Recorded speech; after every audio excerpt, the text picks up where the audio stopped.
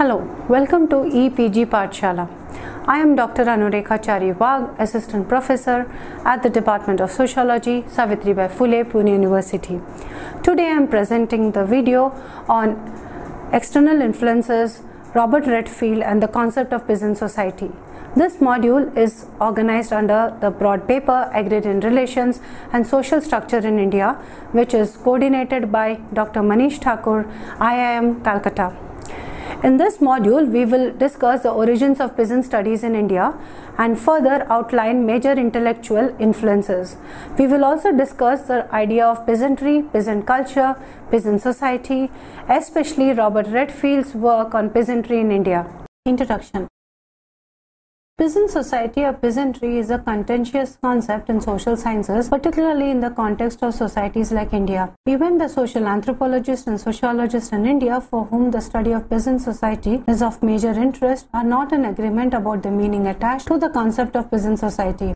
Although the Indian society traditionally was characterized as a peasant society, the concept of peasant society acquired scholarly attention only in the mid 20th century following the discovery of peasantry by the American and Western anthropologists in response to the rising anthropological interest in the comparative study of human conditions. Robert Redfield's studies in Mexico and his conceptualization of peasant society in fact provided a model to many of his Western followers and Indian scholars to view the Indian situation in a new light. Understanding of the intellectual heritage behind Redfield's conceptualization of peasant society then the discourse that followed it is, essential to have a better clarity over the terms such as peasant, peasantry, and peasant society. Discovery of peasant society as a subject of study. Without the study of agriculture and farming population go back to the classic doctrines of political economy of the 18th and the 19th century, Peasant society as a field of study in anthropology and sociology emerged only at the turn of the 20th century. Traditionally, sociologists and anthropologists were studying complex industrial societies on the one end and the primitive society on the other. The classical theorists like Max Weber Durkheim sought to understand the rise of modern economic behavior by comparing pre-industrial with industrial societies. In this classical tradition, a variety of binary concepts and theories were created to explain the modern and traditional industrial and pre-industrial societies. The peasant society or agricultural society did not find a place within the available conceptual framework and almost all the 19th century sociologists worked predominantly on industrial society and the peasant society was considered as residual to industrial society. Peasant society emerged as an area of study mainly after the World War II as a result of growing awareness of the importance of third world countries, which were overwhelmingly peasant, and the increasing participation of the peasantry in these countries in the political processes. Thus, growth of interest in peasant societies was due part, partly to the certain developments in the field of anthropology and partly to the concerted focus of the United Nations sponsored development programs on peasantry. Western anthropologists have been running short of unspoiled tribes and closed folk communities. However, in the past, long before anthropologists, the historians, economists, political theorists, and statisticians had carried out studies, but with perspectives specific to their own disciplines, the origin of the study of the peasant and the peasant societies dates back to the indigenous attempts made at the end made at the turn of the 20th century in the Eastern and Central Europe, growing recognitions of the problems afflicting the people living in the countryside. This is because of the fact that these nations were then faced with the numerous problems given the presence of a large peasantry, the poorest, most backward, and numerically a large population on its way to modernization. During the first quarter of the, of the 20th century, European research into peasantry had, however, encountered adverse conditions. The political developments, such as the emergence of national ideologies of various kinds, military dictatorship, and Russian collectivization during this period had not favored specific studies on peasant communities. Nevertheless, studies were not altogether absent. Few studies were undertaken. However, most of these studies were not available to the English speaking worlds as they were written only in East European languages bearing such titles such as W. I. Thomas and F. Znaniecki's early The Polish Peasant in Europe and America, and the Doreen Warriner's Economics of Peasant Farming, which were published in English. Though these scholarly traditions produced a wealth of theory and data, the extent to which they dealt with peasants as such is debatable. The point of reference of such traditions was specific to the politically problematic peasantry of particular European countries. However, the studies that were undertaken at the subsequent period with different theoretical persuasions gave rise to the anthropology of peasantry as a discipline imparting to it scientific vigor and precision. Of the theoretical persuasions that were prevalent then, the theory of cultural relativism opened up possibilities for the identifications of the distinctive features of the peasant societies. A. L. Kroeber's anthropology is usually credited with the setting forth peasantry as a concept for anthropology. Kroeber formulated the existing conceptual categories of society and thereby drew attention of the social anthropologists to peasantry who were earlier studying exclusively the small tribes and close folk communities. The first full-length study of peasant community came in the 1930 with the publication of Robert Redfield's Tepoztlan, which dealt with an Aztec and Spanish-speaking pueblo of some 4,000 people in the northern Morelos, not far from the Mexico City, but comparatively isolated. After a series of studies in Mexico, Redfield formulated the concept of folk-urban continuum. While folk society refers to the communities of the past, urban society represents a contemporary living. Between these two ends, the peasant society is guarded as and regarded as an intermediate concept. This continuum generated a group of studies in the anthropological literature. It is only during this period that the study of peasant society assumed greater scholarly importance. Redfield noted the study of the peasant, a recognizable and long enduring human type, providing a kind of a bridge between primitive isolation and civilizations. According to him, the study of peasantry calls for new thoughts and procedures of investigation, thereby making anthropology very much more interesting. Emergence of peasant as an analytical category. Though the social scientists of diverse intellectual persuasions have studied peasants in different times, the concept of peasant has never been used consistently or unambiguously, and some have employed the term as if it is a self explanatory concept. Peasant is not used as an analytic category, nor is it even taken as a term that calls for definition. A. L. Kroeber, who developed the idea of peasant society as an intermediate between part societies and part cultures, defined peasants as those constituting part societies with part cultures, definitely rural yet live in a relation to a market town, those who lack the isolation, political autonomy and self-sufficiency of tribal population, yet the local units maintain much of the role identity, integration and attainment to the soil. This has led to dispute and contention in peasant studies because both the tribal cultivators and modern farmers also have a claim to the title of peasant. The term peasant continues to appear casually in the rural studies. And many of the studies continue to have this ambiguity. While some have viewed peasant as a way of living, a complex of formal organization, individual behavior, and social attitudes closely knit together for the purpose of husbanding land with simple tools and human labor, others have used the term synonymous to farmers. S. Silverman rightly commented the term is rarely defined but rather is used as if it were self-explanatory, with the common dictionary meaning of rustics who work with the land. Perhaps the first analytic use of the peasant a, as a concept is that of Raymond Firth in Malay Fishermen, The Peasant Economy. Here, Firth used, Firth used the term as a socio-economic category and justified its application to non-cultivators. His explicit criteria were economic small-scale producers with non-industrial technology, relying primarily on what they produce for their subsistence. Thus, he concluded in the category small-scale producers other than cultivators who shared the same kind of simple economic organization as he mentioned in his Elements of Social Organization 1951. He added, however, and community life and then goes on to talk about the folk character of these communities. Later in an essay, Capital Saving and Credit in Peasant Societies published in 1964, Firth extended the term to other non-agricultural countrymen also who share the social life and values of the cultivators because they are part of the same social system. First definition seems too broad and it makes it difficult to distinguish peasants from non-peasants as he extended the term to non-cultivators like artisan and fishermen into such category. It was only in the mid-1950s that the peasant was established as an analytic category and a subject matter in its own right.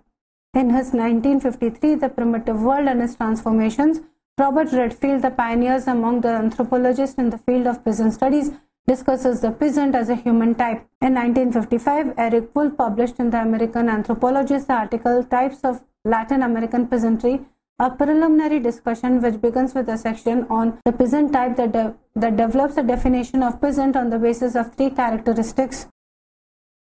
Redfield's 1954 lecture at the University of Chicago on the peasant's view of the good life stimulated the philosopher F. G. Friedman to organize a continuing symposium by correspondence titled The Peasant, a symposium concerning the peasant way and view of life, which began with an exchange of letters among nine scholars. In 1956, Redfield published this lecture along with three others as Peasant Society and Culture and considered it something as a proscript to the little community in which he thought of small communities as independent of things outside themselves.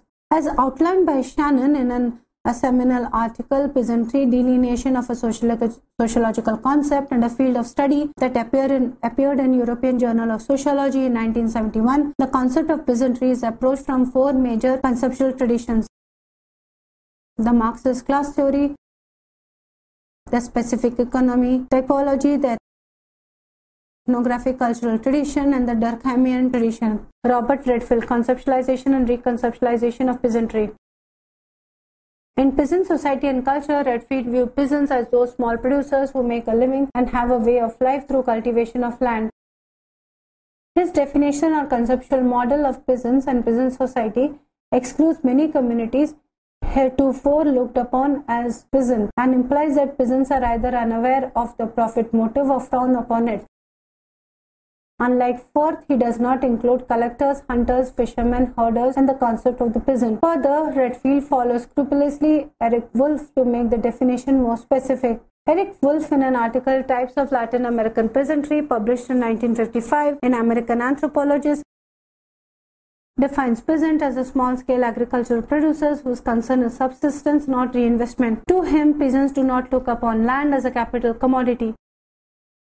Incorporating this idea of Wolf Redfield confined the term peasants to those small agriculturalists for whom agriculture is a livelihood and not a business for profit.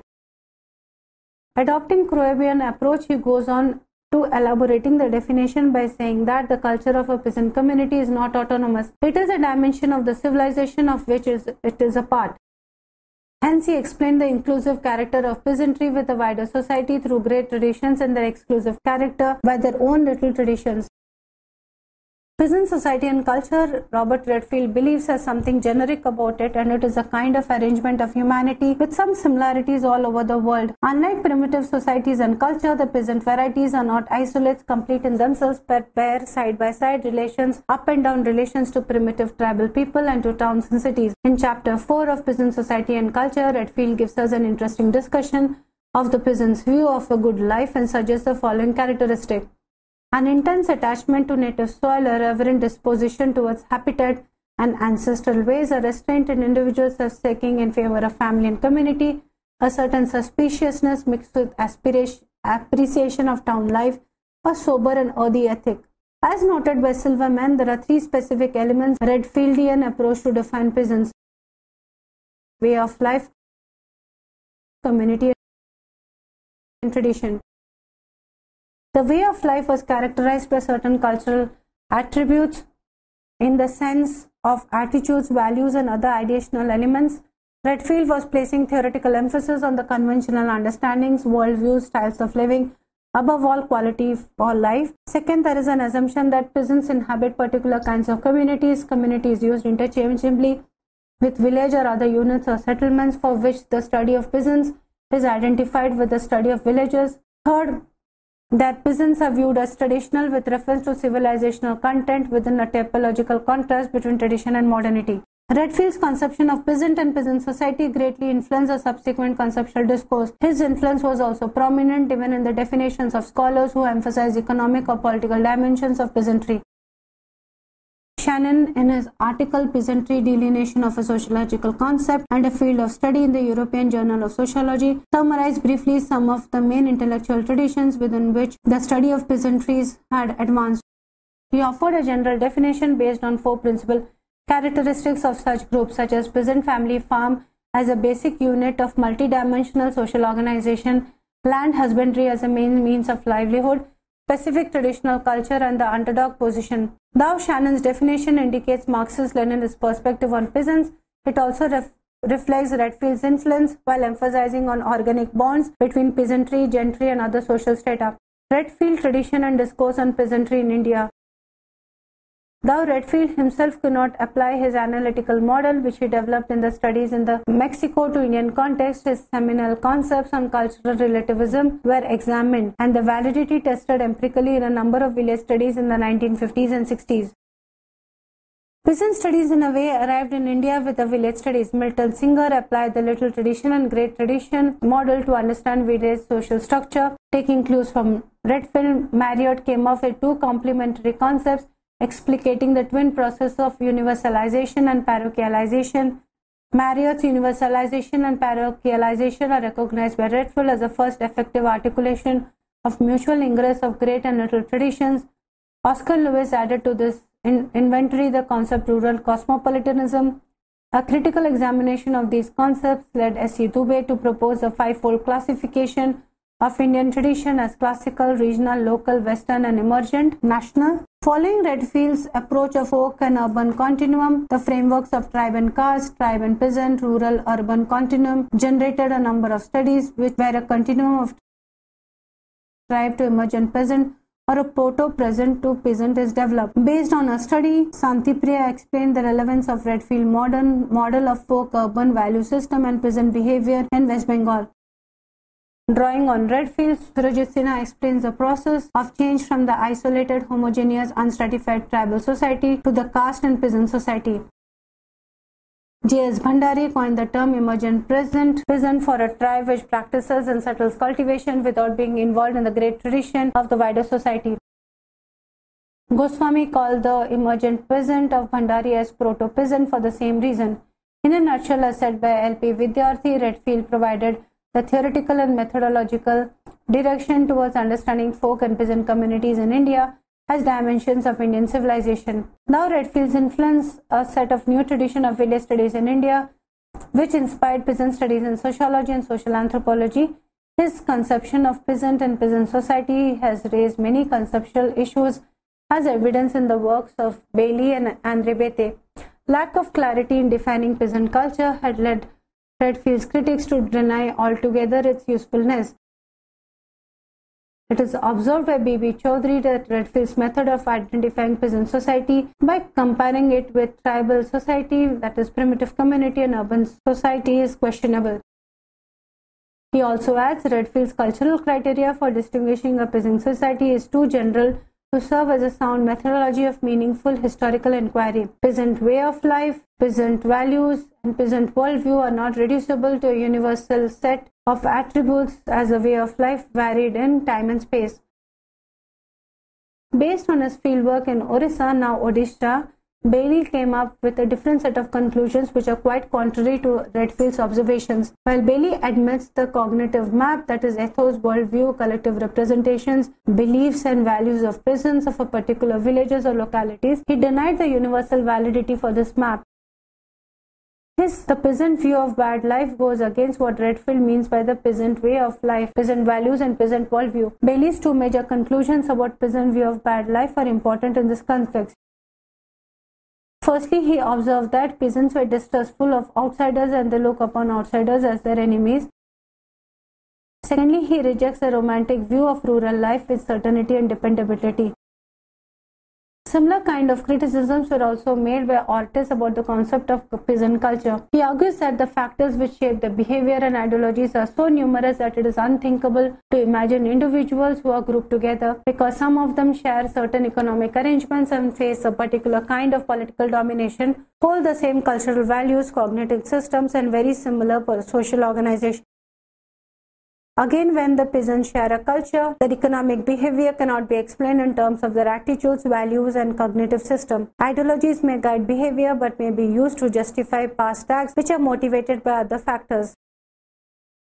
Beteille, while, under, while explaining the concept of peasant society in his six essays in comparative sociology, argued that, like other Western scholars, Robert Redfield too assumed village as a homogeneous community of peasants and believed that those who live in the village are peasants and the village is a place where peasants live and treated peasant as undifferentiated lot and separated sharply different from that of class societies. Taking the example of his own village study, Sripuram in Tamil Nadu and citing a number of other studies, Beteille points to the limitations of Redfield's conception of peasantry in India. He says that he says there are sections of people in rural India villages who do not fit the conception of peasantry as suggested by Redfield. In this context, he refers to the presence of a sizable Brahmin community of holders of rent-free Agraharam lands in Sripuram who did not directly cultivate the land. For Beteille, this is the class of gentry and to call them peasants is to invite analytic failure. To him, given the complexities of Indian society, Redfield's definition of peasantry may not be applicable to Indian situation. In this context, he writes, Indian anthropologists do not appear to have pondered sufficiently on the specific characteristics of Indian peasants and have assumed that they must be same as those of peasants everywhere. However, it is commented that Beteille overstates the taxonomic concerns of Redfield's approach. It appears a peasant for Beteille is a small cultivator, owner cultivator. The agrarian worker may not be admitted into the category when it is posited in opposition to the non-cultivating gentry, but the latter have to be beyond the pale. In conclusion of this module, we studied how peasant society could be a subject of study. Further, we have also understood using peasant as an analytical category. For this, we have used the works of Robert Redfield, who has contribution very important ideas throughout the study of peasantry in India. And his work has dominated the anthropological and sociological studies in rural India. We have also looked at specifically Robert Redfield's conceptualization and reconceptualization of peasantry.